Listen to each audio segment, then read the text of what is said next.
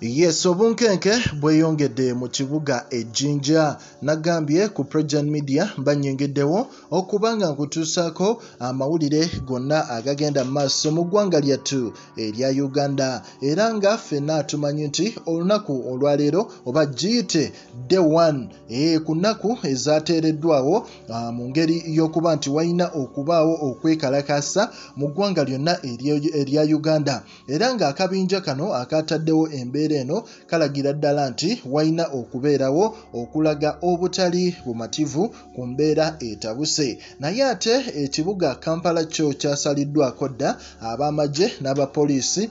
Emmotoka zonna baziggyeyo emmotoka zonna ezeetoolodde ekibuga kampala emmotoka zonna ez'amagye. Naye ate mu kibuga jinja mwattu ate yo obudde buzze ku bunnaabwo olw'ensonga nti abantu batandise okwekalakasa mu ngeri gye babadde tebasuubira. Oluvannyuma lw'okutandika okwokya ebipiira nga babyokera wakati mu nguudo ez'enjawulo naddala main roads.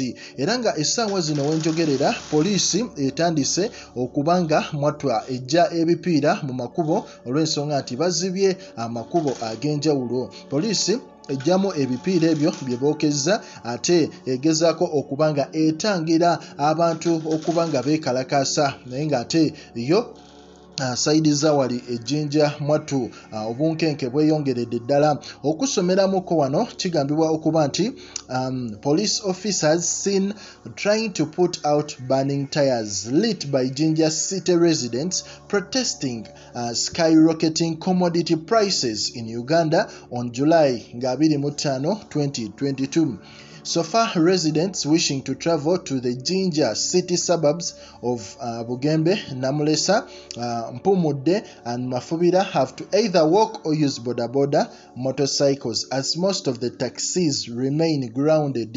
ndowooza owulidde obunkenke uh, teri ntambula yonna gye bakkiriza kugenda mu byalo sayidi za wali ejjinja. Olw'ensonga nti gweoba ogenda mu bifo omuli uh, namulesa bugembe oba mpumudde oba ogendako emafubira. Mwattu ate olina kutambuzaawo bigere. Olw'ensonga nti booda zonna ne booda um, kwotadde ne takisi zonna baziremeseza okuba nga ziddamu ttambula era teri takisi n'emu etambula. Amawulire gano gali ku daily monitor. E, kyovola nti naffe tuba tulina okutuusaako update zino osobole okuba nga otegeera ebigenda mu maaso mu ggwanga erya uganda. Kankomewo nsobole okuba nga mbatuusaako ate biki ebyetooloola mu bifo eby'enjawulo. Wano ku progen media likinga commentinga era mwatu ninguém.